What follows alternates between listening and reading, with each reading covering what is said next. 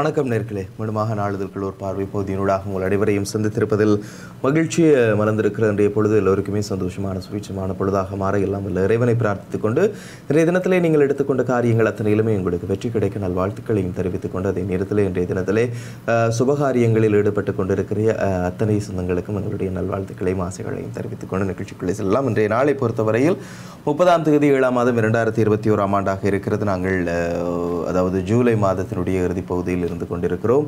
எனவே ஏழாம் மாதத்தினுடைய இறுதிப் பகுதி இன்னும் ஒரு ஐந்து மாதங்கள் தான் இந்த வருடம் நிறைவடைவதற்கு இருக்கிறது. எப்படி இந்த ஏழு மாதங்கள் கொரோனாவினுடைய தாக்கத்தின் காரணமாக சென்று விட்டது என்பது குறித்து நாங்கள் மீள் திரும்பி பார்க்கையில் அத்தனையும் கொரோனாவாகத்தான் இருக்கும். எனவே நாங்கள் இந்த ஏழாம் மாதத்தின் நிறைவு பகுதியில் இருக்கிறோம். இதே நேரத்தில் இன்னும் ஒரு விடயமாக நாங்கள் பார்க்கக்கூடியதாக இருக்கிறது.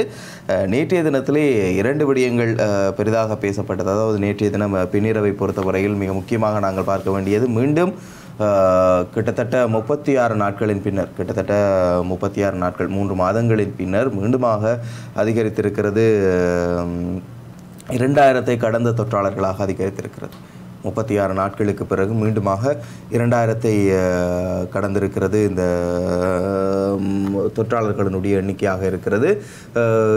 இரண்டாயிரத்தி நானூற்றி இருநூற்றி சொச்ச தொற்றாளர்கள் நேற்றைய தினத்திலே அடையாளம் காணப்பட்டிருந்தார்கள். அதே நேரத்தில் மிக முக்கியமாக இன்னும் விடயத்தை நாங்கள் பார்க்கின்ற வேளையிலேயே கோவிட் தொற்றினால் வந்து அறுபத்தி ஆறு பேர் பலியானதாக நேற்றைய தினம் அறிவிக்கப்பட்டிருந்தது. அது நேற்று முன்தினம் பதிவான மரணங்களாக இருக்கிறது. நேற்றைய தினத்திலே அறுபத்தி ஆறு மரணங்கள் அறிவிக்கப்பட்டிருந்தது.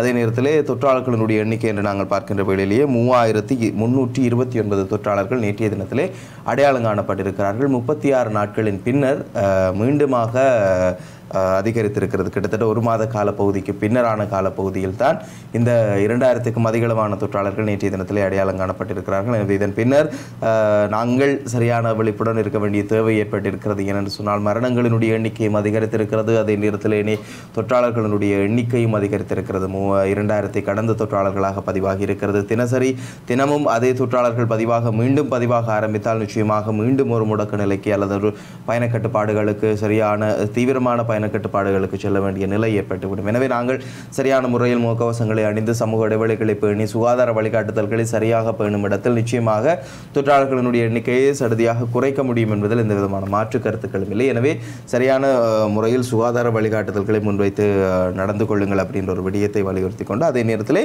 அதிகளவாக மூன்று பத்திரிகையினுடைய முற்பக்கத்திலே நாங்கள் அதிகளவாக வந்திருக்கிற செய்திகளாக நாங்கள் பார்க்கின்ற வேளையிலே இந்த வட்டுவாகல் கோட்டாபய கடற்படை முகாமுக்கு முன் காணி அபகரிப்பு எதிர்த்து நேற்றைய தினத்திலே மக்களால் முன்னெடுக்கப்பட்ட போராட்டம் குறித்தான செய்திகள் தான் மூன்று பத்திரிகைகளுமே பிரதான தலைப்புச் செய்தியாகவும் முற்பக்கத்திலும் வந்திருப்பதை நாங்கள் அவதானிக்கக்கூடியதாக இருக்கிறது. அதே நேரத்திலே யாழ் மாவட்டத்திலும் தொற்றாளர்களுடைய எண்ணிக்கை அதிகரித்து கொண்டே போகிறது அதே நேரம் யாழ் மாவட்டத்திலும் மூவர் கொரோனா தொற்றினால் உயிரிழந்திருக்கிறார்கள்.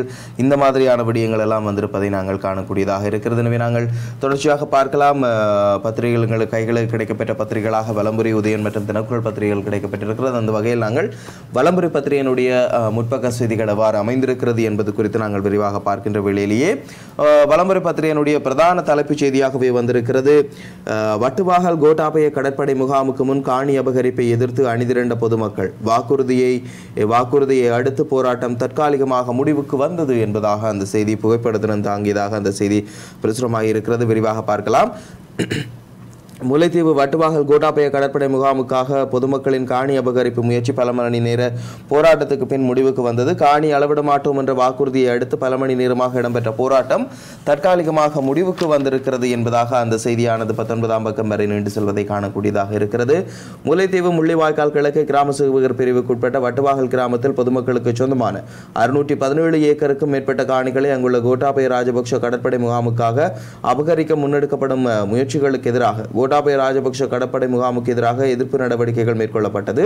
குறித்த கடற்படை முகாமிற்கான காணி அபகரிப்பு நடவடிக்கைகளுக்காக அப்பகுதி நில அளவை திணைக்கள அதிகாரிகள் சென்றுள்ள நிலையில் அங்கு காணி உரிமையாளர்கள் மற்றும் அரசியல் பிரமுகர்கள் பொதுமக்கள் இணைந்து காணி அளவீடு செய்ய வேண்டாம் என்ற கோரிக்கையை முன்வைத்து எதிர்ப்பு நடவடிக்கையில் ஈடுபட்டனர். இதனால் குறித்த பகுதியில் பதற்றமான சூழல் நிலவியது. மூன்று மணி நேரம் தொடர்ந்த போராட்டத்தை அடுத்து முல்லைத்தீவு நில அளவை திணைக்கள அதிகாரியும் முல்லைத்தீவு மாவட்ட மேலதிக அரசு அதிபரும் வந்து காணி அளவீடு எதுவும் இன்று நடைபெறவில்லை என்றும் எதிர்வரும் வாரம் அது குறித்து கலந்துரையாடல் நடைபெற்று அதன் பின்னரே இறுதி முடிவு எடுப்பதாகவும் தெரிவித்த நிலையில் மக்கள் அங்கிருந்து கலைந்து சென்றுள்ளனர். ஏற்கனவே மூன்று தடவைகள் இவ்வாறான காணி அளவீட்டு முயற்சிக்கு மக்கள் எதிர்ப்பால் கைவிடப்பட்டிருந்தமை குறிப்பிடத்தக்கது என்பதாக அந்த செய்தியானது அமைந்திருப்பதை நாங்கள் காணக்கூடிய கூடியதாக இருக்கிறது. மட்டுவாகல் கோட்டாபய கடற்படை முகாமுக்கு முன் காணி அபகரிப்பை எதிர்த்து அணிதிரண்ட பொதுமக்கள் என்பதாக அந்த செய்தி அமைந்திருப்பதை நாங்கள் பார்க்கக்கூடியதாக இருக்கிறது. அதே நேரம் இனிய செய்திகள் என்று நாங்கள் பார்க்கின்ற வேளையிலேயே இந்த கோவிட் தொடர்பான செய்திகள் வந்திருப்பதை நாங்கள் பார்க்கக்கூடியதாக இருக்கிறது. அந்த செய்திகள் குறித்து விரிவாக பார்க்கலாம். கோவிட் தொற்றால் மேலும் அறுபத்தி ஆறு பேர் பலி மொத்த உயிரிழப்பு நான்காயிரத்தி முன்னூற்றி இருபத்தி நான்காக உயர்வு என்பதாக அந்த செய்தியானது அமைந்திருப்பதை காணக்கூடியதாக இருக்கிறது. நாட்டில் கோவிட் தொற்றால் அறுபத்தி ஆறு பேர் உயிரிழந்திருக்கின்றார்கள். அந்த என்ற செய்தியும் பத்தொன்பதாம் பக்கம் வரை நீண்டு செல்வதை காணக்கூடியதாக இருக்கிறது. இதற்கமைய நாட்டில் பதிவான கோவிட் மரணங்களினுடைய மொத்த எண்ணிக்கை நான்காயிரத்தி முன்னூற்றி இருபத்தி நான்காக அதிகரித்துள்ளது. உயிரிழந்தவர்களில் இருபத்தைந்து பெண்களும் நாற்பத்தி ஒரு ஆண்களும் உள்ளடங்குவதாக அரசாங்க தகவல் திணைக்களத்தின் அறிக்கையில் தெரிவிக்கப்பட்டுள்ளது என்பதாக அந்த செய்தியானது அமைந்திருப்பதை பார்க்கக்கூடியதாக இருக்கிறது. அதே நேரம் நாளாந்த தொற்று இரண்டாயிரத்தை கடந்தது. மேலும் இருநூற்றி இரண்டாயிரத்தி முன்னூற்றி இருபத்தி ஒன்பது பேருக்கு கொரோனா என்பதாகவும் ஒரு செய்தி அமைந்திருக்கிறது.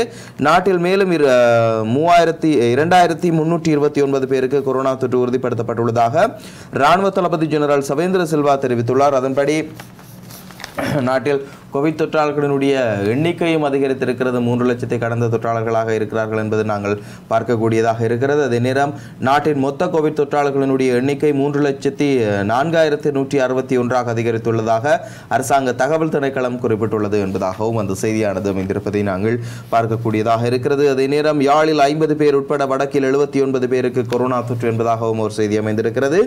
யாழ் மாவட்டத்தில் ஐம்பது பேர் உட்பட வடக்கு மாகாணத்தில் எழுபத்தி ஒன்பது பேருக்கு கொரோனா தொற்று உறுதி செய்யப்பட்டுள்ளது. யாழ் போதனா வைத்தியசாலையில் நேற்று மேற்கொள்ளப்பட்ட பிசிஆர் பரிசோதனையின் போதே குறித்த தொற்றாளர்கள் அடையாளம் காணப்பட்டிருக்கிறார்கள்.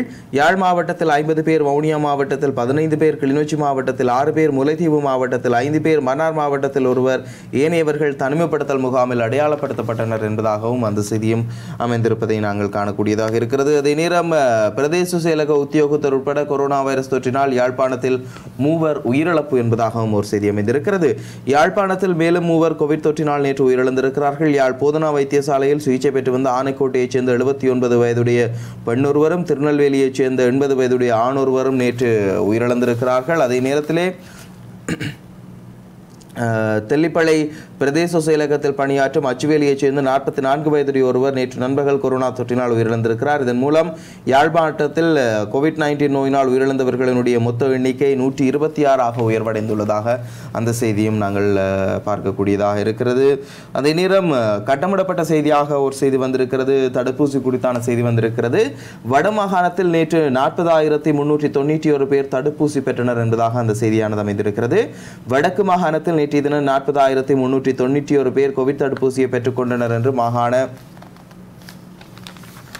சுகாதார சேவைகள் பணிப்பாளர் தெரிவித்த கருத்தை மேற்கோள் காட்டி அந்த செய்தியானது அமைந்திருப்பதை நாங்கள் காணக்கூடியதாக இருக்கிறது. இது தொடர்பில் அவர் வெளியிட்டுள்ள செய்திக்குறிப்பில் தெரிவிக்கப்பட்டுள்ளதாவது நேற்று வியாழக்கிழமை வடமாகாணத்தில் சினோஃபா முதலாவது தடுப்பூசி ஏற்றும் பணிகள் இடம்பெற்றன. இத்திட்டத்தின் கீழ் முப்பது வயதுக்கு மேற்பட்டவர்களுக்கு தடுப்பூசிகள் வழங்கப்பட்டன. நேற்று யாழ்ப்பாண மாவட்டத்தில் பதினெட்டாயிரத்தி முப்பத்தி ஒன்பது பேருக்கும் கிளிநொச்சி மாவட்டத்தில் ஐயாயிரத்தி நூற்றி பத்து பேருக்கும் முல்லைத்தீவு மாவட்டத்தில் ஏழாயிரத்தி எண்ணூற்றி அறுபத்தைந்து பேருக்கும் வவுனியா மாவட்டத்தில் ஒன்பதாயிரத்தி முன்னூற்றி எழுபத்தி ஏழு பேருக்குமாக. வடமாகாணத்தில் மொத்தமாக நாற்பதாயிரத்தி முன்னூற்றி தொண்ணூற்றி ஒரு தடுப்பூசிகள் நேற்றைய தினத்திலே வழங்கப்பட்டன என்பதாக அந்த செய்தியானது அமைந்திருப்பதை நாங்கள் பார்க்கக்கூடியதாக இருக்கிறது. அதே நேரம் தடுப்பூசி தொடர்பாக இன்னும் ஒரு செய்தியாக நாங்கள் பார்க்கக்கூடியதாக இருக்கிறது. தடுப்பூசி போடாமல் ஒளிந்திருப்போரை இனங்கான விசேட நடவடிக்கை ராணுவ தளபதி சவேந்திர சில்வா என்பதாகவும் ஒரு செய்தி அமைந்திருக்கிறது. நாட்டில் அனைத்து மக்களுக்கும் தடுப்பூசி போட வேண்டும் என்ற அரசாங்கம் அறிவித்துள்ள அறிவித்து அனைத்து மாவட்டங்களிலும் தடுப்பூசி ஏற்று நடவடிக்கை முன்னெடுக்க முன்னெடுக்கப்பட்டு வருகின்றன. எனவே இந்த தடுப்பூசி போடாமல் ஒளிந்து தெரிவோரை கிராம சேவையாளர்கள் ஊடாக கண்டறிவதற்கு எதிர்காலத்தில் நடவடிக்கை எடுக்கப்படும் என ராணுவ தளபதி சவேந்திர சில்வா தெரிவித்திருக்கிறார். கொரோனா தொற்றில் இருந்து பாதுகாக்க இரு பாதுகாப்பாக இருக்க தடுப்பூசியே ஒரே வழி என சுகாதார தரப்பு தெரிவித்துள்ள நிலையில் ராணுவ தளபதி எவ்வாறு தெரிவித்துள்ளார் என்பதாகவும் அந்த செய்தியானது அமைந்திருப்பதையும் நாங்கள் பார்க்கக்கூடியதாக இருக்கிறது. அதே நேரம் வலம்புரி பத்திரிகை தந்திருக்கிற ஏனைய செய்திகளை நாங்கள் பார்க்கின்ற வேளையிலேயே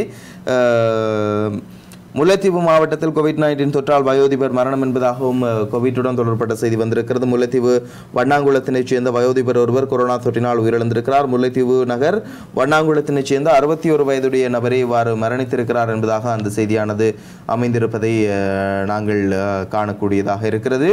இது தவிர ஏனைய செய்திகள் என்று நாங்கள் பார்க்கின்ற வேளையிலேயே வலம்புரி பத்திரிகையினுடைய ஏனைய செய்திகள் என்று நாங்கள் பார்க்கின்ற வேளையிலேயே தர்மபுரத்தில் கால்வாயில் தவறி விழுந்த குடும்பஸ்தர் பலி என்பதாக ஒரு செய்தி வந்திருக்கிறது.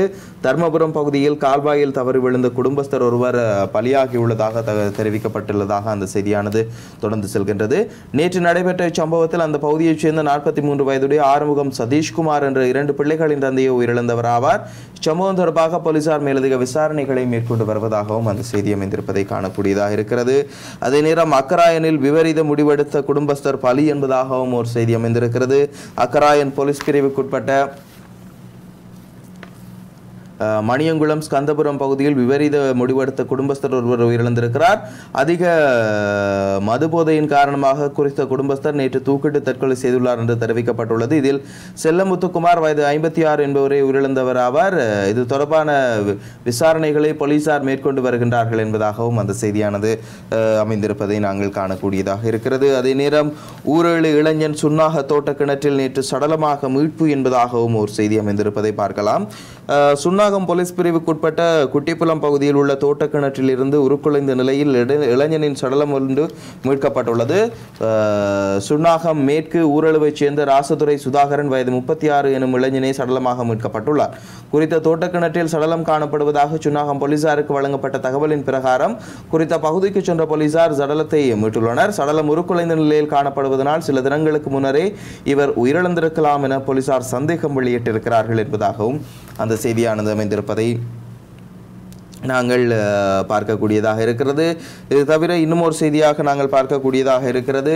யாழில் இளைஞரை இளைஞர்களை தாக்கி சித்திரவதை நான்கு பெண்கள் உட்பட ஐவர் கைது என்பதாகவும் ஒரு செய்தி அமைந்திருக்கிறது. யாழில் இளைஞர்களை தாக்கி சித்திரவதை புரிந்த குற்றஞ்சாட்டில் நான்கு பெண்கள் உள்ளிட்ட ஐந்து பேர் யாழ்ப்பாண போலீசாரினால் கைது செய்யப்பட்டிருக்கிறார்கள். நாவாந்துறை பகுதியில் புறா வளர்த்த இரண்டு இளைஞர்களுக்கு இடையில் ஏற்பட்ட தர்க்கம் மோதலாக மாறியது. அந்த நிலையில் தாக்குதலை நடத்திய இளைஞர்கள் தாக்குதலுக்குள்ளான இளைஞர்களிடம் சமரசம் பேச முற்பட்ட போது பெண்கள் குழு ஒன்று சமரசம் பேச வந்த இளைஞர்கள் நான்கு பேரை தாக்கி அவர்களின் முகங்களில் மிளகாய் தடவி சித்திரவதை புரிந்து அதனை காணொலியாக சமூக வலைத்தளங்களில் பதிவேற்றியுள்ளனர். பெண்களின் சித்திரவதைக்கு உள்ளான இளைஞர்களில் ஒருவர் கடந்த இருபத்தி ஏழாம் தேதி தவறான முடிவெடுத்து தனது உயிரை மாய்த்துள்ளார். இந்த நிலையில் இளைஞர் குழுவை தாக்கிய சம்பவம் தொடர்பில் யாழ்ப்பாண போலீஸ் நிலையத்தில் மேற்கொள்ளப்பட்ட முறைப்பாட்டின் பிரகாரம் பிரதான விசாரணைகளை முன்னெடுத்த போலீசார் பிரதான சந்தேக நபரான பெண் தலைமறைவாக இருந்த நிலையில் கைது செய்திருக்கிறார்கள். அதனைத் தொடர்ந்து முன்னெடுத்த விசாரணைகளின் அடிப்படையில் மேலும் மூன்று பெண்களையும் ஒரு ஆணையும் கைது செய்துள்ளனர். இதேவேளை சம்பவத்துடன் தொடர்புடைய மேலும் சில பெண்கள் தலைமறைவாக உள்ள நிலையில் அவர்களையும் கைது செய்வதற்கான நடவடிக்கைகளை போலீசார் அஹ், மேற்கொண்டிருக்கிறார்கள் என்பதாக அந்த செய்தியானது அமைந்திருப்பதை நாங்கள் பார்க்கக்கூடியதாக இருக்கிறது. இவை வலம்புரி பத்திரிகை தந்திருக்கிற முற்பக்க செய்திகளாக இருக்கிறது. நாங்கள் உட்பக்க செய்திகள் குறித்து நாங்கள் விரிவாக பார்க்கின்ற வேளையிலேயே யாழ் மாவட்டத்தில் அரசு திணைக்களம் ஒன்றில் நடைபெற்ற செய்தி குறித்தான அந்த விடயம் வந்திருக்கிறது. கத்திக்குத்தில் முடிந்த ஒருதலை காதல் விவகாரம் யாழ் அரசு திணைக்களத்தில் சம்பவம் என்பதாகவும் ஒரு செய்தி அமைந்திருக்கிறது. ஒருதலை காதல் விவகாரத்தில் சகப்பெண் பெண் உத்தியோகத்தரை கத்தியால் குத்திய நபர் தன்னையும் த- குத்து கத்தியால் குத்தி தற்கொலைக்கு முயன்றுள்ளார். குறித்த சம்பவத்தில் காயமடைந்த இருவரும் யாழ் போதனா வைத்தியசாலையில் அதிதீவிர சிகிச்சை பிரிவில் சிகிச்சை பெற்று வருகின்றனர். யாழில் உள்ள அரசு திணைக்களம் ஒன்றில் நேற்றைய தினம் நடைபெற்ற குறித்த சம்பவம் தொடர்பில் மேலும் தெரிய வருவதாவது திணைக்களத்தில் பணியாற்றி வரும் ஆண் உத்தியோகத்தர் அங்கு கடமை புரியும் சக பெண் உத்தியோகத்தர் ஒருவரை ஒருதலையாக காதலித்து வந்துள்ளார். அவரின் காதலை பெண் உத்தியோகத்தர் ஏற்க மறுத்து வந்த நிலையில் அவர் அப்பெண்ணுக்கு தொந்தரவு கொடுத்து வந்துள்ளார். தொந்தரவு தாங்க முடியாத அப்பெண் ஒரு கட்டத்தில் போலீஸ் முறை நிலையத்தில் முறைப்பாடு செய்துள்ளார். முறைப்பாட்டின் பிரகாரம் விசாரணைகளை முன்னெடுத்த போலீசார் ஆண் உத்தியோகத்தரை அழைத்து கடுமையாக எச்சரித்து அனுப்பி வைத்துள்ளனர். இந்த நிலையில் நேற்றைய தினம் அலுவலகத்தில் இருவரும் கடமையில் இருந்திருக்கிறார்கள். திடீரென ஆண் உத்தியோகத்தர் பெண் உத்தியோகத்தர் மீது சரமாரியாக கத்தியால் வெட்டிவிட்டு அலுவலகம் மலசல கூடத்துக்கு சென்று தாளிட்டுள்ளார். சம்பவத்தை அடுத்து ரத்த வெள்ளத்தில் கிடந்த பெண் உத்தியோகத்தரை அங்கு கடமையில் இருந்த சக உத்தியோகத்தர்கள் மீட்டு யாழ் போதனா வைத்தியசாலைக்கு கொண்டு சென்றனர். அதேவேளை அப்பகுதியால் சிவில் உடையில் சென்ற போலீசார் சம்பவம் தொடர்பில் அறிந்து அலுவலகத்திற்குள் சென்று இருந்தபோது கத்தியால் வெட்டிய நபர் மலசலகூடத்திற்குள் தாளிட்டு இருப்பதனை அறிந்து அவரை வெளியே வருமாறு அழைத்துள்ளனர். எந்த சத்தமும் இல்லாத நிலையில் கதவினை உடைத்து திறந்தபோது அந்த நபர் தன்னைத்தானே கத்தியால் குத்திக் கொண்ட நிலையில் இரத்த வெள்ளத்தில் கிடந்துள்ளார். அவரை அங்கிருந்து மீட்டு யாழ் போதனா வைத்தியசாலையில் அனுமதித்தனர். சம்பவம் தொடர்பில் யாழ்ப்பாண போலீசார் விசாரணைகளை முன்னெடுத்து வருகின்றனர். அதேவேளை கத்தியால் குத்திய நபரின் அலுவலக மேசை லாட்சியினில் வேறொரு கத்தியும் கூறிய ஒரு ஆயுதமும் காணப்பட்டதாகவும் தெரிவிக்கப்படுகிறது என்பதாக அந்த செய்தியானது அமைந்திருப்பதை காணக்கூடியதாக இருக்கிறது. இதே நேரம் யாழில் அறுபத்தி ஆறு வயது வயதான பெண்ணுக்கு இரு கைகளிலும் ஏற்றப்பட்ட தடுப்பூசி என்பதாகவும் ஒரு செய்தி அமைந்திருக்கிறது. யாழ் மாவட்டத்தில் முப்பது வயதுக்கு மேற்பட்டவர்களுக்கு தடுப்பூசி வழங்கும் நடவடிக்கை நேற்று ஆரம்பிக்கப்பட்டிருக்கும் நிலையில் யாழ் சென்ட் ஜோன்ஸ் கல்லூரியில் அமைந்துள்ள கொரோனா தடுப்பூசி வழங்கும் மையத்தில் கொழும்புத்துறை ஜே அறுபத்தி ஒன்று பிரிவைச் சேர்ந்தவர்களுக்கும் தடுப்பூசி ஏற்றப்பட்டது. இதே பிரிவைச் சேர்ந்த அறுபத்தி ஆறு வயதுடைய பெண்ணுக்கு இரு கையிலும் தடுப்பூசி ஏற்றப்பட்டதாக தெரிவிக்கப்படுகிறது. பெண்ணின் ஒரு கையில் ஒரு தாதியொருவர் ஊசி போட்டுவிட்டு உடனே உடனடியாக அங்கிருந்து சென்றுவிட இது தெரியாமல் இன்னொரு தாதி அங்கு வந்து மற்ற கையிலும் ஊசி போட்டுள்ளார். தவறுதலாக இடம்பெற்று விட்டதாக உடலில் உபாதை ஏற்பட்டால் அறிவிக்குமாறு கூறி அனுப்பி வைத்திருப்பதாக அந்த செய்தியானது அமைந்திருப்பதை பார்க்கக்கூடியதாக இருக்கிறது. அதே நேரம் அதே நேரம் அஹ், ஒரு செய்தியாக முக்கிய மிக முக்கியமாக செய்தியாக நாங்கள் பார்க்கக்கூடியதாக இருக்கிறது. கொரோனா பாதிப்பு உலகளவில் திடீர் அதிகரிப்பு உலக சுகாதார அமைப்பு தகவல் என்பதாக அந்த செய்தி அமைந்திருப்பதை பார்க்கலாம். உலக அளவில் கொரோனா இரண்டாவது அலையை கட்டுக்குள் கொண்டு வந்து இருக்கும் நிலையில் தற்போது திடீரென பாதிப்பு அதிகரித்துள்ளது என உலக சுகாதார அமைப்பு தெரிவித்துள்ளது. கொரோனா அதிகரிப்பு குறித்து உலக சுகாதார அமைப்பு வெளியிட்டுள்ள அறிக்கையில் கூறியிருப்பதாவது கடந்த வாரம் அறுபத்தொன்பதாயிரம் கொரோனா உயிரிழப்புகள் நடந்துள்ளன. இவற்றில் பெரும்பாலானவை அமெரிக்கா மற்றும் தென்கிழக்கு ஆசியாவில் ஏற்பட்டுள்ளது. கொரோனா பாதிப்புகள் எட்டு சதவீதம் அதிகரித்துள்ளது. உலகம் முழுவதும் மொத்த பாதிப்பு பத்தொன்பது கோடி ஐம்பத்தி ஆறு லட்சத்தை தாண்டிவிட்டது. இதே ரீதியில் சென்றால் இன்னும் இரண்டு வாரங்களில் இரண்டு கோடி இருபது கோடியை மிஞ்சிவிடும். America Brazil Indonesia England India ஆகிய நாடுகளில் புதிய பாதிப்பு அதிகமாக இருக்கிறது. இவ்வாறு அந்த அறிக்கையில் கூறப்பட்டுள்ளது. உலக அளவில் பத்தொன்பது புள்ளி ஐந்து கோடி பேர் கொரோனா தொற்றினால் பாதிக்கப்பட்டுள்ள நிலையில் நாற்பத்தி ஒன்று புள்ளி எட்டு லட்சம் பேர் உயிரிழந்துள்ளமை குறிப்பிடத்தக்கது என்பதாக அந்த செய்தி அமைந்திருப்பதை நாங்கள் காணக்கூடியதாக இருக்கிறது. அதே நேரம் இருபதாவது திருத்தச் சட்டத்தை ரத்து செய்ய வேண்டும். ஐக்கிய தேசிய கட்சி வலியுறுத்தி என்பதாகவும் ஒரு செய்தி அமைந்திருக்கிறது. அதே நேரம் மாகாணங்களுக்கு இடையிலான போக்குவரத்து நிபந்தனைகளுடன் ஆரம்பம் என்பதாகவும் ஒரு செய்தி அமைந்திருக்கிறது. கொரோனா தொற்றை அடுத்து தடைப்பட்டிருந்த மாகாணங்களுக்கு இடையிலான போக்குவரத்து சேவை எதிர்வரும் ஆகஸ்ட் முதலாம் தேதியிலிருந்து மீள ஆரம்பிக்கப்பட உள்ளதாக அரசாங்கம் அறிவித்துள்ளது. இதன்படி தனியார் மற்றும் அரச பேருந்து சேவைகளை வருகின்ற ஆகஸ்ட் முதலாம் தொகுதி தொடக்கம் மாகாணங்களுக்கு இடையே மீண்டும் நடத்த அனுமதி அளிப்பதாக போக்குவரத்து ராஜாங்க அமைச்சர் திலும் அமனுகமன தெரிவித்துள்ளார்.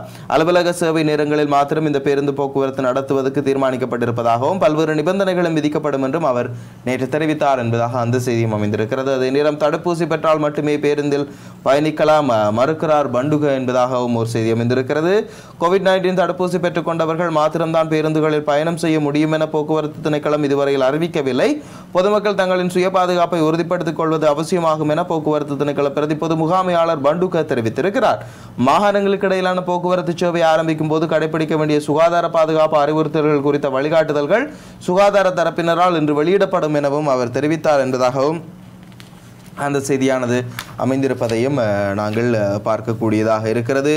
எனவே இவை வலம்புரி பத்திரிகை தந்திருக்கிற செய்திகளாக இருக்கிறது. நாங்கள் உதயன் பத்திரிகையினுடைய பக்கம் எங்களுடைய அவதானங்களை செலுத்துகின்ற பொழுது உதயன் பத்திரிகை எவ்வாறான செய்திகளை தந்திருக்கிறது என்பது குறித்து நாங்கள் விரிவாக பார்க்கின்ற வேளையிலேயே உதயன் பத்திரிகையினுடைய செய்தி என்று நாங்கள் பார்க்கின்ற வேளையிலேயே மக்களிடையே எதிர்ப்பை மீறி வட்டவாகலில் காணி அளவீடு போக்குவரத்து தடை அமைதியின்மை என்பதாக அந்த செய்தியானது அமைந்திருப்பதை நாங்கள் பார்க்கக்கூடியதாக இருக்கிறது.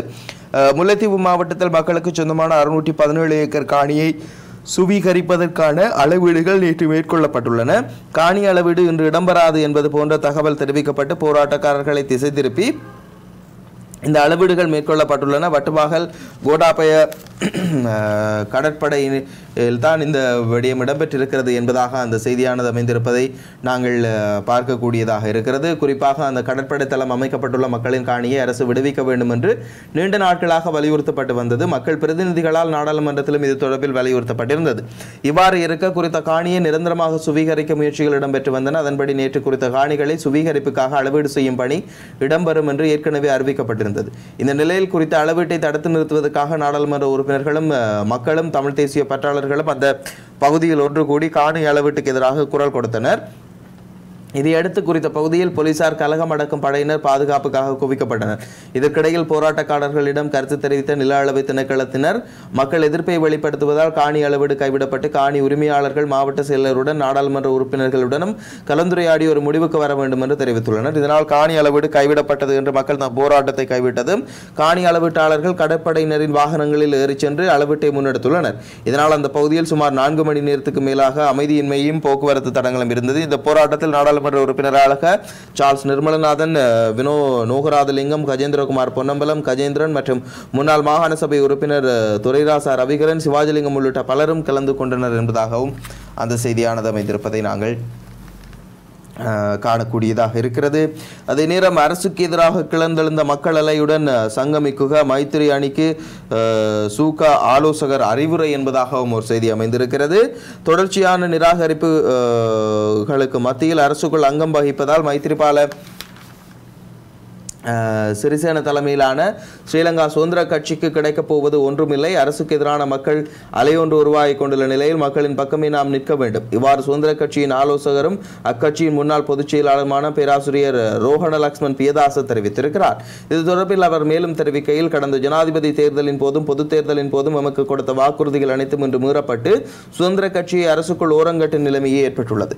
ஜனாதிபதியும் பிரதமரும் எம்மை ஏமாற்றியுள்ளனர். அவ்வாறான நிலையில் ஸ்ரீலங்கா பொதுஜன பெரமுனவரின் தவறான கருத்துக்கள் ஸ்ரீலங்கா சுதந்திர கட்சிக்கு எதிரான பரப்புரைகள் அரசுக்குள் எம்மை நடத்தும் விதம் குறித்து இப்போது ஜனாதிபதியுடன் பேச்சு நடத்துவதில் எந்த அர்த்தமும் இல்லை என்பதே எமது நிலைப்பாடு. இந்த நிலைப்பாட்டில் கட்சியில் பலர் உள்ளனர். இறுதியாக ஜனாதிபதியுடன் பேச்சுக்கு சென்றவர்களில் ஒரு சிலரும் இதே நிலைப்பாட்டை ஆரம்பத்தில் கொண்டிருந்தனர். அரசுக்குள் எமது இருப்பை தக்க வைத்துக் கொள்வதை விடவும் மக்களிடம் எமது கட்சியை கொண்டு சேர்க்க வேண்டும். மீண்டும் தனி கட்சியாக நாம் பயணிக்க வேண்டும் என்பதே நாம் இப்போது முன்னெடுக்க வேண்டிய வேலை திட்டமாகும் இது குறித்து இப்போது தீர்மானம் எடுத்தால் இம்மால் அடுத்த தேர்தல்களில் பழமையான கட்சியாக உருவாக்க முடியும். பழமை பழைய சுதந்திர கட்சிக்காரர்களை ஒன்றிணைக்கவும் முடியும் என்றார் அவர் என்று அந்த கருத்தானது அமைந்திருப்பதை நாங்கள் காணக்கூடியதாக இருக்கிறது. அதே நேரம் வேறு இனிய செய்திகள் என்று நாங்கள் பார்க்கின்ற வேளையிலேயே ராணுவ இராணுவ தளபதியினுடைய புகைப்படம் தாங்கியதாக ஒரு செய்தி வந்திருக்கிறது. இலங்கையில் மீண்டும் கொரோனா தாண்டவம் கடும் கட்டுப்பாடுகள் மீண்டும் வரக்கூடும். இராணுவ தளபதி எச்சரிக்கை என்பதாக அந்த செய்தியானது அமைந்திருக்கிறதை காணக்கூடியதாக இருக்கிறது. இலங்கையில் நாளந்தம் பதிவாகும் கொரோனா வைரஸ் தொற்றாளர்களினுடைய எண்ணிக்கை ஒரு மாதத்தின் பின்னர் மீண்டும் அதிகரித்துள்ளது. இதே நிலை நீடித்தால் இறுக்கமான கட்டுப்பாடுகளை நாம் விதிக்க வேண்டி வரும் என்று தெரிவித்தார் சவேந்திர சில்வா என்பதாக அந்த செய்தியும் பத்தொன்பதாம் பக்கம் வரை நின்று செல்வதை பார்க்கக்கூடியதாக இருக்கிறது. கொரோனா தடுப்புக்கான தேசிய செயற்பாட்டு மத்திய நிலையத்தின் தலைவரும் ராணுவ தளபதியுமான ஜெனரல் சவேந்திரா இது தொடர்பில் தெரிவிக்கையில் இலங்கையில் நாளாந்த கொரோனா தொற்றாளர்களினுடைய எண்ணிக்கை ஒரு மாதத்தின் பின்னர் நேற்று முன்தினம் ஆயிரத்தி தொள்ளாயிரத்தை தாண்டியுள்ளது. இதேவேளை நேற்று இரண்டாயிரத்தி முன்னூறுக்கும் மேற்பட்ட தொற்றாளர்கள் அடையாளம் காணப்பட்டுள்ளார்கள். இவர்கள் அனைவரும் புத்தாண்டு கொரோனா கொத்தடையுடன் தொடர்பு பட்டவர்கள் சில கட்டுப்பாடுகளில் தளர்வுகள் வந்தமையினால் தொற்றாளர்களினுடைய எண்ணிக்கையும் அதிகரிக்கின்றது. எனவே மக்கள் சுகாதார விதிமுறைகளை கடைபிடிப்பது மிகவும் அவதானத்துடன் செயற்பட வேண்டும். எளியில் இறுக்கமான கட்டுப்பாடுகளை நாம் விதிக்க வேண்டி வரும். கொரோனா தொற்று பரவலை கட்டுப்படுத்துவதற்காக பொதுமக்கள் தடுப்பூசியை பெற்றுக்கொள்வது அவசியமாகும் என்று என்றும் அவர் தெரிவித்தார் என்பதாக அந்த செய்தியானது அமைந்திருப்பதை நாங்கள் பார்க்கக்கூடியதாக இருக்கிறது. அதே நேரம் கொரோனா பெருந்தொற்று இறப்புகள் மீண்டும் எகிரல் ஒரே நாளில் அறுபத்தி ஆறு பேர் உயிரிழப்பு என்பதாகவும் அந்த செய்தியும் வந்திருக்கிறது. இலங்கையில் நீண்ட நாட்களின் பின்னர் நாளாந்த கொரோனா சாவுகளினுடைய எண்ணிக்கை அதிகரித்திருப்பதாக அந்த செய்தியானது அமைந்திருப்பதை காணக்கூடியதாக இருக்கிறது. நாட்டில் மேலும் அறுபத்தி ஆறு கொரோனா தொற்றாளர்கள் உயிரிழந்துள்ளனர் என்று அரசு தகவல் திணைக்களம் நேற்றிரவு விடுத்துள்ள அறிக்கையில் தெரிவிக்கப்பட்டுள்ளது. நேற்று முன்தினம் உயிரிழந்த அறுபத்தி ஆறு பேரில் நாற்பத்தி ஒரு ஆண்களும் இருபத்தைந்து பெண்களும் உள்ளடங்குகின்றனர் என்று அரசு தகவல் திணைக்களத்தின் அறிக்கையில் குறிப்பிடப்பட்டிருக்கிறது. இதன்படி நாட்டில் பதிவான கொரோனா சாவுகளினுடைய மொத்த எண்ணிக்கை நான்காயிரத்தி முன்னூற்றி இருபத்தி நான்காக உயர்வடைந்துள்ளதாகவும் அந்த செய்தியானது அமைந்திருப்பதை காணக்கூடியதாக இருக்கிறது. தி பலிகாமம் வலிகாமம் வழக்கில் பனிரெண்டு ஏக்கர் காணி இராணுவ பிரிகேட்டுக்கு தாரை வார்ப்பு மாவட்ட காணி பயன்பாட்டு குழுவுக்கு அனுமதி என்பதாகவும் ஒரு செய்தி அமைந்திருப்பதை காணக்கூடியதாக இருக்கிறது. வலிகாமம் வடக்கு பிரதேச செயலாளர் பிரிவுக்குட்பட்ட கொல்லன் கலட்டியில் சீமெந்து கூட்டுத்தாபனத்துக்கு சொந்தமான பனிரெண்டு ஏக்கர் காணியை இராணுவத்திற்கு வழங்குவதாக யாழ்ப்பாண மாவட்ட காணி பயன்பாட்டு குழு அனுமதி வழங்கியுள்ளது. யாழ்ப்பாண மாவட்ட காணி பயன்பாட்டு குழு கூட்டம் கடந்த இருபத்தி ஏழாம் தேதி யாழ்ப்பாண மாவட்ட செயலகத்தில் நடைபெற்றது. இதன்போது வலிவடக்கு பிரதேச செயலக காணி பயன்பாட்டு குழு கூட்டத்தில் கடந்த மார்ச் மாதம் இரண்டாயிரத்தி இருபத்தி இரண்டாம் தேதி அனுமதி வழங்கப்பட்ட காணிக்கு மாவட்ட காணி பயன்பாட்டு குழுவுக்கு அனுமதி வழங்கியுள்ளது. ஜே இருநூற்றி இருபத்தைந்து கிராம அலுவலர் பிரிவில் பன்னிரண்டு ஏக்கரில் அமைந்துள்ள ராணுவத்தின் ஐநூற்றி பதிமூன்றாவது பிரிகேட் பிரிகேட்டுக்கே காணி வழங்கப்பட்டுள்ளது. மேற்படி ராணுவ முகாம் வழி வடக்கில் மக்கள் மீள்குடியமர்வுக்கு அனுமதிக்க அறிவிக்கப்பட்ட காலம் தொடக்கம் அமைந்துள்ளது என்பதாகவும் அந்த செய்தியானது நாங்கள் பார்க்கக்கூடியதாக இருக்கிறது. அதே நேரம் இனிய செய்திகள் என்று நாங்கள் பார்க்கின்ற வேளையிலேயே உதயன் பத்திரிகை தந்திருக்கிற இனிய செய்திகள் என்று நாங்கள் பார்க்கின்ற வேளையிலேயே தோட்டக்கிணற்றில் சடலம் ஒன்று மீட்பு என்பதாகவும் ஒரு செய்தி வந்திருக்கிறது. ஏற்கனவே பார்த்த செய்தியாக அந்த செய்தி அமைந்திருப்பதை பார்க்கக்கூடியதாக இருக்கிறது. கடமிடப்பட்ட செய்தியாக வந்திருக்கிறது. ஒருதலை காதல் விவகாரம் சகபெண் பணியாளரை கத்தியால் குத்திய நபர் தானும் தற்கொலைக்கு முயற்சி என்பதாகவும் ஒரு செய்தி அமைந்திருக்கிறது. விரிவாக பார்த்த செய்தியாக இருக்கிறது. அதே நேரம் முப்பத்தி ஆறு நாட்களின் பின்னர் இரண்டாயிரத்தை கடந்தது தொற்றாளர்களினுடைய எண்ணிக்கை என்பதாகவும் ஒரு செய்தி அமைந்திருக்கிறது. பார்த்த செய்தியாக இருக்கிறது. இருந்தாலும் பார்க்கலாம். இலங்கையில் முப்பத்தி ஆறு நாட்களின் பின்னர் நாளாந்தம் கொரோனா தொற்றாளர்களினுடைய எண்ணிக்கை இரண்டாயிரத்தை கடந்திருப்பதாக அந்த செய்தியானது தொடர்ந்து செல்வதை நாங்கள் காணக்கூடியதாக இருக்கிறது. நேற்று இரண்டாயிரத்தி முன்னூற்றி இருபத்தி ஒன்பது பேர் கொரோனா தொற்றுடன் அடையாளம் காணப்பட்டிருக்கிறார்கள். அரசாங்க தகவல் திணைக்களம் நேற்றிரவு விடுத்துள்ள அறிக்கையிலே இந்த விடயம் தெரிவிக்கப்பட்டிருக்கிறது. அதன்படி நாட்டில் கொரோனா தொற்று உறுதிப்படுத்தப்பட்டவர்களில் மொத்த எண்ணிக்கை மூன்று லட்சத்தி நான்காயிரத்து நூற்றி அறுபத்தி ஒன்றாக அதிகரித்துள்ளது. அதுடன் கொரோனா தொற்றால் பாதிக்கப்பட்ட மேலும் ஆயிரத்தி அறுநூற்றி நாற்பத்தி ஒரு பேர் நேற்று குணமடைந்து வீடு திரும்பி இருக்கிறார்கள் அதற்கமைய நாட்டில் கொரோனா தொற்றினிலிருந்து குணமடைந்தவர்களினுடைய மொத்த எண்ணிக்கை இரண்டு லட்சத்தி எழுபத்தி மூவாயிரத்தி நானூற்றி தொண்ணூற்றி ஆறாக உயர்வடைந்துள்ளதாகவும் அந்த செய்தியானது. அமைந்திருப்பதை காணக்கூடியதாக இருக்கிறது. அதே நேரம் யாழ்ப்பாணத்தில் கொரோனாவால் மூவர் உயிரிழப்பு என்பதாக ஏற்கனவே பார்த்த செய்தி வந்திருக்கிறது. அதே நேரம் கொரோனாவால் முல்லைத்தீவில் ஒருவர் இறப்பு என்பதாகவும் அந்த செய்தியும் நாங்கள் பார்த்திருக்கிறோம். அதே நேரம் மூதாட்டியின் இரு கைகளிலும் அடுத்தடுத்து இரண்டு தடுப்பூசிகள் என்பதாகவும் ஏற்கனவே பார்த்த செய்தியும் வந்திருப்பதை காணக்கூடியதாக இருக்கிறது. எனவே உட்பக்க செய்திகள் என்று நாங்கள் பார்க்கின்ற வேளையிலே விளம்பரி பத்திரிகை மன்னிக்க வேண்டும் உதயன் பத்திரிகை தந்திருக்கிற உட்பக்க செய்திகள் என்று நாங்கள் பார்க்கின்ற வேளையிலேயே நாற்பதாயிரத்தி முன்னூற்றி தொண்ணூற்றி ஒரு பேருக்கு நேற்று வடக்கில் தடுப்பூசி என்பதாக நாங்கள் நாங்கள் வலம்புரி பத்திரிகையில் பார்த்த செய்தி வந்திருக்கிறது. அதே நேரம் யாழ்ப்பாண மாவட்டத்துக்கு புதிய விதிமுறைகள் அறிவிப்பு என்பதாக ஒரு செய்தி வந்திருக்கிறது. மிக முக்கியமான செய்தி. நாங்கள் பார்க்கலாம். குறிப்பாக யாழ்ப்பாண மாவட்ட வழிபாட்டு தலங்கள் திருமண நிகழ்வுகள் மற்றும் ஏனைய நிகழ்வுகளின் போது கடைபிடிக்க வேண்டிய விதிமுறைகள் தொடர்பில் யாழ் மாவட்ட செயலாளர் சில அறிவுறுத்தல்களை விடுத்திருக்கிறார். யாழ்ப்பாண மாவட்டத்தில் தற்போது கொரோனா தொற்று அபாய நிலையை கருத்தில் கொண்டு சுகாதார சேவைகள் பணிப்பாளர் நாயகத்தின் சுற்றறிக்கைக்கு அமைவாக குறித்த விதிமுறைகள் அமைக்கப்படுகின்றன என்று அவர் குறிப்பிட்டுள்ளார். குறிப்பாக வழிபாட்டிடங்களை பொறுத்தவரையில் வழிபாட்டிடங்களில் போதிய அளவில் கைகழுவும் வசதி ஏற்படுத்தி செய்யப்பட்டு வருகை தரும் அனைவரும் கையை கழுவது உறுதிப்படுத்தப்பட வேண்டும். அனைவரும் சரியான முறையில் முகக்கவசம் அணிந்திருத்தல் வேண்டும். தனியால் இடைவெளி தனிநபர்களுக்கு இடையிலான இடைவெளி ஒரு மீட்டர் பேணுவதனை கண்டிப்பாக கடைபிடிக்க வேண்டும். கைகழுவுதல் முகக்கவசம் அணிதல் உறுதிப்படுத்தப்பட்ட குறிப்பிட்ட ஒருவரை நியமிக்க வேண்டும். வழிபாட்டு நிலையங்களில் அதிகூடிய அளவில் ஒரே நேரத்தில் நூறு பேர் மாத்திரமே ஒன்று கூட முடியும். இந்த அதிகூடிய எண்ணிக்கையை பிரதேச அபாய நிலை வழிபாட்டிடத்தின் அளவிடத்தின் அடிப்படையில் தனியார் இடைவெளியுடன் இருக்கக்கூடிய நபர்களின் எண்ணிக்கை என்பனவற்றின் அடிப்படையில் சுகாதார மருத்துவ அதிகாரி மேலும் குறைக்க முடியும். வெளிவீதியில் திருவிழாக்கள் பக்தர்கள் ஒன்று கூடுதல் சுவாமி உலா வருதல் அன்னதான நிகழ்வுகள் தண்ணீர் பந்தல்கள் மற்றும் காவடி எடுத்தல் போன்ற நிகழ்வுகளை நடத்த முடியாது. பக்தர்களுக்கு விபூதி பூசி விடுதல் மற்றும் பிரசாரம் வழங்குதல் என்பதில் முற்றாக தடை செய்யப்பட்டிருக்கிறது. வழிபாட்டுத்தல வளாகத்தின் உள்ளேயோ வெளியிலேயோ தேவையற்ற விதத்தில் பொதுமக்கள் கூடி நிற்றல் ஆகாது.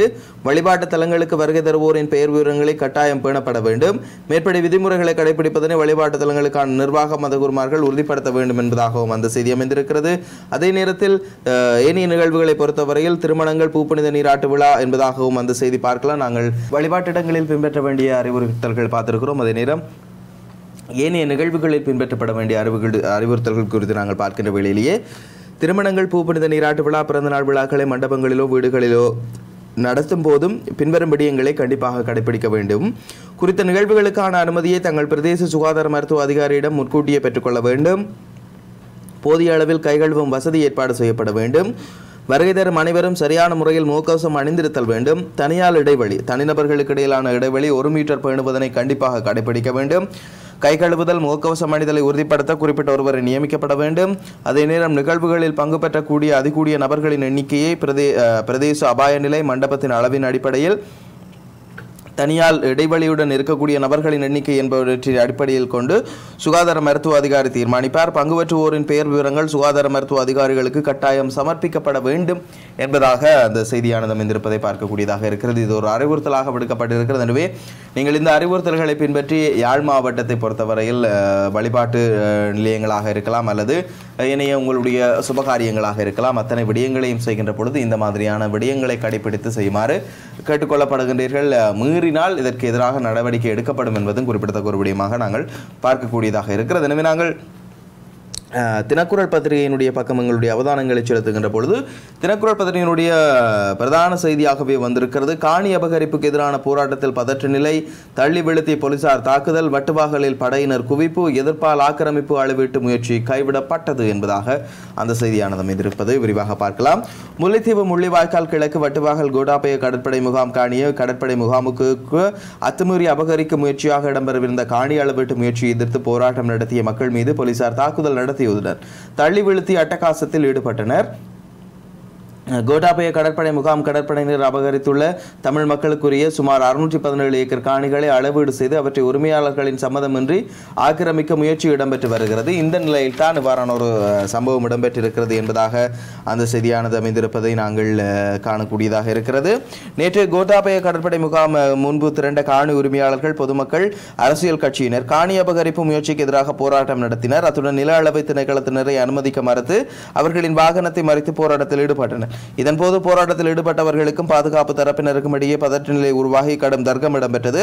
ஒரு கட்டத்தில் போராட்டத்தில் ஈடுபட்டவர்களை போலீசார் தள்ளி வீழ்த்தி தாக்குதல் நடத்தினர். நேற்று காலை ஏழு மணி அளவில் காணி அபகரிப்புக்கான நில அளவீடு நடைபெறும் என முன்னரே அறிவிக்கப்பட்டிருந்த நிலையில் அந்த பகுதியில் காணி உரிமையாளர்கள் திரண்டிருந்தனர். அத்துடன் கிராம மக்கள் பிரதேச சபை உறுப்பினர்கள் கரைதுரை பெற்று பிரதேச சபை தவிசாளர்கள் விஜிந்தன் அதே நேரம் புதுக்குடியிருப்பு பிரதேச சபையின் உபய தவிசாளர் ஜெனமே ஜெயந்த் முன்னாள் வடக்கு மாகாண சபை உறுப்பினர்களான ரவிகரன் எம் கே சிவாஜிலிங்கம் பாராளுமன்ற உறுப்பினர்களான சார்ல்ஸ் நிர்மலநாதன் வினோ நோகராஜலிங்கம் கஜேந்திரகுமார் பொன்னம்பலம் செல்வராசா கஜேந்திரன் முன்னாள் நாடாளுமன்ற உறுப்பினர் சிவசக்தி ஆனந்தன் உள்ளிட்ட மக்கள் பிரதிநிதிகள் கலந்து எதிர்ப்பை வெளிப்படுத்தி இருக்கிறார்கள் அப்போது அந்த இடத்துக்கு வருகை தந்த இராணுவத்தினர் சிலர் ஆர்ப்பாட்டக்காரர்களை அச்சுறுத்திருந்த வகையில் செயற்பட்டதுடன் ஆர்ப்பாட்டத்திற்கான முயற்சிகளை குழப்புகின்ற வகையிலும் இருந்தனர் வழிமறித்த ஆர்ப்பாட்டக்காரர்களில் இந்த நிலையில் நில அளவீடுகளை செய்வதற்காக ஆவணங்களுடன் ஒன்பது மணிக்கு வருகை தருமாறு கடிதத்தின் மூலம் காணிக்குரிய தமிழ் மக்களுக்கு அறிவுறுத்தல் வழங்கியிருந்த நிலையில் நில அளவு திணைக்களத்தினர் குறிப்பிட்ட நேரத்தின் பின்னர் ஏழு முப்பது மணிக்கு நில அளவீட்டு செயற்பாடுகளில் ஈடுபடுவதற்காக வட்டுப்பாகல் கோட்டாபய கடற்படை முகாம் வளாகத்திற்கு வருகை தந்திருந்தனர். நில அளவை திணைக்களத்தினர் இத்தகைய செயற்பாடானது காணி களுக்குரிய தமிழ் மக்களுக்கு பலத்த சந்தேகத்தை ஏற்படுத்தி இருந்தது. அளவீட்டிற்கென வருகை தந்த முல்லைத்தீவு பிரதேச நில அளவை திணைக்களத்தின் நில அளவை யாளர் ப நவர்ஜீவன் தலைமையிலான குழுவினர் கடற்படை முகாமுக்குள் செல்ல முற்பட்ட போது அவர்கள் வருகை தந்த வாகனத்தினை முன்னாள் வடமாகாண சபை உறுப்பினர் துரைராச ரவிகரன் மற்றும் பாராளுமன்ற உறுப்பினர் செல்வராசா கஜேந்திரன் உள்ளிட்டோர் வழிமறித்தனர். வாகனங்கள் அவர்கள் வாகனத்தை வழிமறைப்பதற்குள் வாகனத்தை விட்டிறங்கிய நில அளவையாளர் நவஜீவன் கடற்படை முகாமுக்குள் வேகமாக சென்றார்.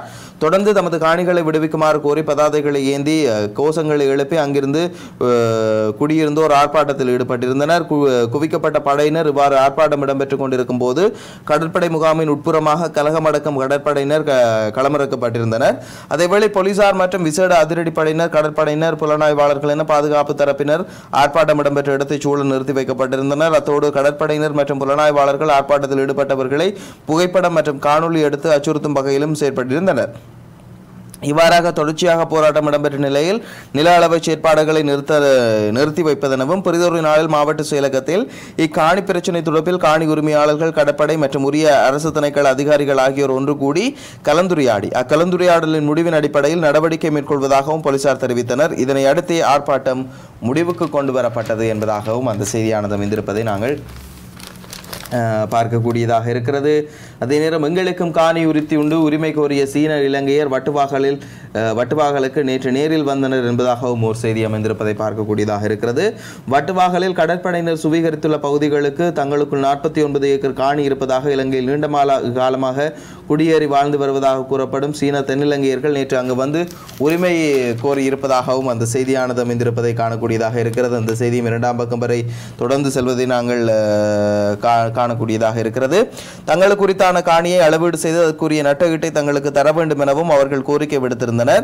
இவர்களின் இந்த கருத்தால் காணி அளவீட்டை எதிர்த்து அங்கு போராட்டம் நடத்தியவர்களுக்கும் சீன இலங்கையர்களுக்கும் இடையே மோதல் போக்கு உருவானது. இதனையடுத்து அங்கு திறந்து நின்ற போலீசார் அவர்களை பாதுகாப்பாக அழைத்துச் சென்றனர். எழுபத்தி இரண்டாம் ஆண்டு இந்த பகுதியில் தான் காணியை பெற்றுக்கொண்டதாகவும் தற்போது அதனை அளவீடு செய்து நட்டகீட்டை பெற்றுக்கொள்ள உள்ளதாகவும் இந்த சீன இலங்கை பிரஜை தெரிவித்தார். அவருடன் சீன பிரஜைகள் போன்ற வேறு சிலரும் அங்கு பிரசன்னமாக இருந்தனர். சீன பிரஜைகளான இவர்கள் நீண்ட காலத்துக்கு முன்னரே தென்னிலங்கையில் குடியேறி அங்கு வசித்து வருவது தெரிய வருகிறது என்பதாகவும் அந்த செய்தியும் அமைந்திருப்பதை நாங்கள் காணக்கூடியதாக இருக்கிறது. அதே நேரம் இனிய கொரோனா தொடர்பான செய்திகள் தவிர்த்து இனிய செய்திகள் என்று நாங்கள் பார்க்கின்ற வேளையிலேயே யாழில் இன்று கோவிட் தடுப்பூசி போடப்படும் இடங்கள் அறிவிப்பு என்பதாக ஒரு செய்தி வந்திருக்கிறது. மிக முக்கியமாக நாங்கள் பார்க்க வேண்டிய செய்தியாக இருக்கிறது. குறிப்பாக யாழ்ப்பாணத்தில் மூன்றாம் கட்டத்தின் தடுப்பூசி திட்டத்தின் கீழ் இன்று வெள்ளிக்கிழமை தடுப்பூசி போடப்பட்டுள்ள இடங்கள் அறிவிக்கப்பட்டிருக்கிறது. அந்த அதன் பிரகாரம் சங்கானை ஜே நூற்றி அறுபத்தி எட்டு ஜே நூற்றி அறுபத்தி ஒன்பது தொல்புரம் விக்னேஸ்வரா பாடசாலை ஜே நூற்றி எழுபது ஜே நூற்றி எழுபத்தி ஒன்று மூளாய் சிவபிரகாசா பாடசாலை அது நிறம் சாவகச்சேரி ஜே இருநூற்றி எண்பத்தி எட்டு ஜே இருநூற்றி தொண்ணூற்றி ஒன்பது ஆரம்ப சுகாதார மருத்துவ மையம் கைதடி ஜே முந்நூறு ஜே முன்னூற்றி பத்தொன்பது சாவகச்சேரி நகரசபை பொன்விழா மண்டபம் ஜே முன்னூற்றி இருபது ஜே முன்னூற்றி இருபத்தி ஒன்று ஜே முன்னூற்றி முப்பத்தி ஏழு ஜே முன்னூற்றி நாற்பத்தி ஏழு வரணி பிரதேச வைத்தியசாலை ஜே முன்னூற்றி இருபத்தி ரெண்டு ஜே முன்னூற்றி முப்பத்தி ஆறு கொடிகாமம் பிரதேச வைத்தியசாலை. அதே நேரம் யாழ்ப்பாணத்தை பொறுத்தவரையில் ஜே அறுபத்தி எட்டு சென் ஜோன்ஸ் கல்லூரி ஜே எண்பது ஜே எண்பத்தஞ்சு வைத்தீஸ்வரா கல்லூரி ஜே நூற்றி ஆறு ஜே நூற்றி ஏழு நல்லூர் துர்கா மண்டபம். அதே நேரம் கோப்பாய் பிரதேசத்தை பொறுத்தவரையில் ஜே இருநூற்றி அறுபத்தி ஆறு குறும்பரா இந்து கல்லூரி ஜே இருநூற்றி அறுபத்தி ஒன்பது நீர்வேலி ரோமன் கத்தோலிக்க தமிழ்கலவன் பாடசாலை ஜே இருநூற்றி எழுபத்தி ஆறு ஜே இருநூற்றி எழுபத்தி எட்டு புத்தூர் சோமஸ்கந்தா கல்லூரி ஜே இருநூற்றி எண்பத்தி மூன்று ஜே இருநூற்றி எண்பத்தி நான்கு அச்சுவேலி பிரதேச வைத்தியசாலை மருதங்கனி பகுதியை பொறுத்தவரையில் ஜே நானூற்றி இருபத்தி ரெண்டு ஜே நானூற்றி இருபத்தி ஐந்து ஆகிய ப- பிரிவினர் நாகர்கோவில் மகா வித்தியாலயத்திலும் ஜே நானூற்றி முப்பத்தி முப்பதை சேர்ந்த பிரிவினர் உடுத்துறை மருத்துவ மையத்திலும் அதே நேரம் நல்லூரை பொறுத்தவரையில் ஜே தொண்ணூறு ஜே தொண்ணூற்றி நாலு ஜே தொண்ணூற்றி ஆறு பிரிவினைச் சேர்ந்தவர்கள் நாவலடி பொது சுகாதார நிலையத்திலும் அதே நேரம் ஜே தொண்ணூற்றி ஒன்பது மஞ்சவனப்பதி கோவில் திருமண மண்டபம் அதே நேரம் ஜே நூற்றி பன்னி பன்னிரெண்டு ஜே நூற்றி பதினான்கு முத்துத்தம்பி மகா வித்தியாலயத்திலும் ஜே நூற்றி பதினேழு ஜே நூற்றி பதினெட்டை சேர்ந்தவர்கள் சுகாதார வைத்திய அதிகாரி பெருமணி நல்லூரை நல்லூரிலும். அதே நேரம் தெல்லிப்பளை பகுதியை பொறுத்தவரையில் ஜே இருநூற்றி ப எழுபத்தி ஏழு பிரிவினைச் சேர்ந்தவர்கள் யூனியன் கல்லூரியிலும் காலை எட்டு மணி முதல் போடப்படும். அதே நேரம் ஜே இருநூற்றி இருபத்தி எட்டு பிரிவினரைச் சேர்ந்தவர்கள் யூனியன் கல்லூரி முற்பகல் பத்து மணி முதல் போடப்படும். அதே நேரம் ஜே இருநூற்றி இருபத்தி ஒன்பது பகுதி பிரிவினருக்கு ஜூனியன் கல்லூரியில் தான் மதியம் பன்னிரெண்டு மணி முதல் போடப்படுவதாக அறிவிக்கப்பட்டிருக்கிறது. அதே நேரம் உடுவில் பகுதியை பொறுத்தவரையில் ஜே நூற்றி எண்பத்தஞ்சு ஜே நூற்றி எண்பத்தி ஏழு பிரிவினைச் சேர்ந்தவர்கள் உடுவில் மகளிர் கல்லூரியிலும் ஜே நூற்றி எண்பத்தி எட்டு ஜே நூற்றி தொண்ணூற்றி ஒன்று இணுவில் இந்து கல்லூரியிலும் ஜே நூற்றி தொண்ணூற்றி மூன்றைச் சேர்ந்தவர்கள் தாவடி இந்து தமிழ் கலவன் பாடசாலையிலும் ஜே நூற்றி தொண்ணூற்றி ஆறைச் சேர்ந்தவர்கள் உடுவில் சுகாதார வைத்திய அதிகாரி பணிமனையிலும் ஜே இருநூற்றி ஒன்று ஜே இருநூற்றி இரண்டு ஏழாலை முத்தமிழ் மன்றத்திலும் ஜே இருநூற்றி ஏழு புன்னாலை கட்டுவான் சித்திவிநாயகர் பாடசாலையிலும் தடுப்பூசிகளை போட்டுக்கொள்ள முடியும். அதே நேரம் வேலணை பகுதியை பொறுத்தவரையில் ஜே இருபத்தி எட்டு ஜே முப்பது ஜே முப்பத்தி ரெண்டு ஜே முப்பத்தி மூன்று புங்குடுதீவு சுப்பிரமணிய வித்தியாலயத்திலும் தடுப்பூசிகளை போட்டுக்கொள்ளலாம் பருத்தித்துறை பகுதியை பொறுத்தவரையில் ஜே நானூற்றி பதினொன்று ஜே நானூற்றி பதினான்கு முன்கள பணியாளர்களுக்காக போடப்படுகிறது. வட இந்து மகளிர் கல்லூரியிலே போடப்படுகிறது. அதே நேரம் காரநகரில் அனைத்து முன்கள பணியாளர்களுக்கும் காரநகர் சுகாதார வைத்திய அதிகாரி பணிமனையில் இன்று தடுப்பூசி போடப்படும். அதேவேளை கரவட்டி சுகாதார வைத்திய அதிகாரி பணிமனையில் அனைத்து முன்கள பணியாளர்களுக்கும் தடுப்பூசி வழங்கப்படும். ஊர்காவற்றுறை பொறுத்த பொறுத்தவரையில் ஊர்காவற்றுறை சுகாதார வைத்திய அதிகார பணிமனையில் அனைத்து முன்கள பணியாளர்களுக்கும் இன்று தடுப்பூசி பெற்றுக்கொள்ளலாம் சண்டிலிப்பாயை பொறுத்தவரையில் சுதுமலை மற்றும் ஆனைக்கோட்டை மற்றும் சுகாதார வைத்திய அதிகாரி பிரிவினரின் பிரதேச வைத்தியசாலை மாணிப்பாயிலும் சுதுமலை சுகாதார வைத்திய அதிகாரி பிரிவினர் சுதுமலை சின்மய பாரதி மாணிப்பாய் பொது சுகாதார அதிகாரி பிரிவினர் மாணிப்பாய் மெமோரியலிலும் தடுப்பூசியை பெற்றுக்கொள்ளலாம் என்பதாக இன்றைய தினத்திலே யாழ் மாவட்டத்திலே தடுப்பூசி பெற்றுக்கொள்ளக்கூடிய இடங்கள் தொடர்பான செய்தி வந்திருப்பதை நாங்கள் காணக்கூடியதாக இருக்கிறது. ஏனைய செய்திகள் என்று நாங்கள் பார்க்கின்ற வேளையிலே ஆட்சியை கவிழ்க்க தருணம் பார்க்கிறோம். தேவை இன்னும் ஏற்படவில்லை. ராஜித என்பதாக ஒரு செய்தி அமைந்திருக்கிறது. ஆட்சியை கவிழ்க்க வேண்டும் என்ற தேவை இன்னும் எதிர்க்கட்சிக்கு ஏற்படவில்லை என்றும் அதற்கான தருணம் வரையில் காத்திருக்கணும் என்று பாராளுமன்ற உறுப்பினர் ராஜ சேனாரத்ன தெரிவித்திருக்கிறார். எதிர்க்கட்சி தலைவர் அலுவலகத்தில் நேற்று வியாழக்கிழமை இடம்பெற்ற செய்தியாளர் சந்திப்பிலே ஆட்சி அதிகாரத்தை கைப்பற்றும் நோக்கில் எதிர்க்கட்சியிடம் இருக்கின்றதா என்று ஊடகவியலாளர் ஒருவர் கேட்ட கேள்விக்கு பதிலளிக்கையிலேயே அவர் இவ்வாறு தெரிவித்திருக்கிறார் என்பதாக அந்த செய்தியானது அமைந்திருப்பதை நாங்கள் காணக்கூடியதாக இருக்கிறது. அதே நேரம் நாடு மீண்டும் திறக்கப்படும் காலம் குறித்து அறிவிப்பு என்பதாகவும் ஒரு செய்தி அமைந்திருக்கிறது. முப்பது வயதுக்கு மேற்பட்ட இளைஞர்கள் அனைவர்களுக்கும் எதிர்வரும் செப்டம்பர் மாதத்திற்குள் தடுப்பூசி செலுத்தப்படும் என்று அமைச்சர் பந்துல குணவர்த்தன தெரிவித்திருக்கிறார். அந்த தடுப்பூசிக்கு பிறகு நாடு மீண்டும் திறக்கப்படும் என்று வர்த்தக அமைச்சர் கூறியுள்ளார். புலத் சிங்கள பகுதியில் இடம்பெற்ற நிகழ்வு ஒன்றின் போதே அவர் இந்த விடயத்தினை தெரிவித்திருக்கிறார் என்பதாக அந்த செய்தியானது அமைந்திருப்பதை காணக்கூடியதாக இருக்கிறது. அதே நேரம் சஜித் தரப்பு அழைப்பை நிராகரித்தார் மங்கள என்பதாகவும் ஒரு செய்தி அமைந்திருக்கிறது. சஜித் பிரேமதாச தலைமையிலான ஐக்கிய மக்கள் சக்தியின் அழைப்பினை முன்னாள் நிதியமைச்சர் மங்கள சமரவீர நிராகரித்திருக்கிறார். ஸ்ரீலங்கா பொதுஜன முன்னணியும் ஐக்கிய மக்கள் சக்தியும் ஒரு நாணயத்தின் இரண்டு பக்கங்கள் என அவர் சுட்டிக்காட்டியிருக்கிறார். ஐக்கிய மக்கள் சக்தியின் செயற்குழு உறுப்பினர் ரெஹான் ஜெயவிக்ரம அண்மையில் மங்களவை மீண்டும் கட்சியில் இணைந்து கொள்ளுமாறு பகிரங்கமாக அழைத்திருந்தார். ஆயிரத்தி தொள்ளாயிரத்தி எண்பத்தி எட்டாம் ஆண்டில் தாம் சுதந்திர கட்சியில் இணைந்து கொண்டதாகவும் லிபரல் கொள்கைகளை அதிகம் பின்பற்றும் கட்சியாக காணப்பட்டதாகவும் அவர் குறிப்பிட்டுள்ளார். முன்னாள் ஜனாதிபதி சந்திரிகா பண்டார் நாயக்கவை இதுவரை ஆட்சிக்கு வைத்த ஜனாதிபதிகளில் அதிக அளவில் லிபரல் கொள்கைகளை பின்பற்றியவர் எனவும் அவர் சுட்டிக்காட்டியிருக்கிறார். மஹிந்த ராஜபக்ஷவை ஆட்சி பீடத்தில் ஏற்றும் பிரச்சார பணிகளில் முன்னின்று செயற்பட்ட போதிலும் ஜனாதிபதியாக பதவியேற்றுக் கொண்டதன் பின்னர் அவரது கொள்கைகளில் உடன்பாடு கிடையாது என அவர் குறிப்பிட்டுள்ளார். ஐக்கிய மக்கள் சக்தியின் கொள்கைகளும் ஸ்ரீலங்கா பொதுஜன முன்னணியின் கொள்கைகளும் ஒரே விதமானவை எனவும் இதனால் ஐக்கிய மக்கள் சக்தியில் இணைந்து கொள்ள விரும்பவில்லை என்றும் மங்கள சமரவீர தெரிவித்த கருத்தை மேற்கோள் காட்டி அந்த செய்தியானது அமைந்திருப்பதை காணக்கூடியதாக இருக்கிறது. அதே நேரம் நான்கு வருடங்களுக்குள் அறுநூறு கோடி ரூபாய் பரிமாற்றம் தெகிவளை பகுதியில் பெண் கைது என்பதாகவும் ஒரு செய்தி அமைந்திருக்கிறது. தெகிவளை பகுதியில் பெண் ஒருவர் குற்ற விசாரணை திணைக்கள அதிகாரிகளினால் கைது செய்யப்பட்டிருக்கிறார். ஐந்து வணக்கு ஐந்து வங்கி கணக்குகள் வைத்திருந்து நான்கு வருடங்களுக்குள் அந்த கணக்கினூடாக அறுநூறு கோடி ரூபாய் பண பரிமாற்றம் செய்த பெண் ஒருவரை இவ்வாறு கைது செய்யப்பட்டிருக்கிறார் என்பதாக அந்த செய்தியானது அமைந்திருப்பதை நாங்கள் பார்க்கக்கூடியதாக இருக்கிறது. இந்த வங்கி கணக்குகளுக்குள் அஹ், போதைப்பொருள் வர்த்தகத்துடன் தொடர்புடையது என தகவல் வெளியாகியுள்ளதென பிரதி போலீஸ் மா அதிபர் அஜித் ரோஹன தெரிவித்திருக்கிறார். கைது செய்யப்பட்ட சந்தேக நபர் நாற்பத்தி ஒரு வயதுடைய பெண் என தெரிய வந்துள்ளது அவர் பணம் தூய்மையாக்கல் சட்டத்தின் கீழ் கைது செய்யப்பட்டுள்ளதாக பிரதி போலீஸ் மா அதிபர் அஜித் ரோஹன குறிப்பிட்டுள்ளார்.